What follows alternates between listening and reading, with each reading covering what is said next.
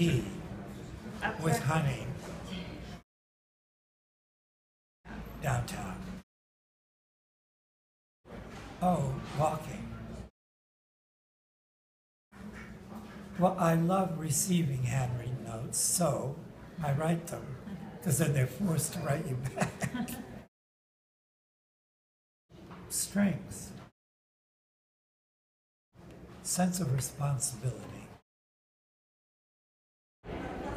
Young Catherine Deneuve.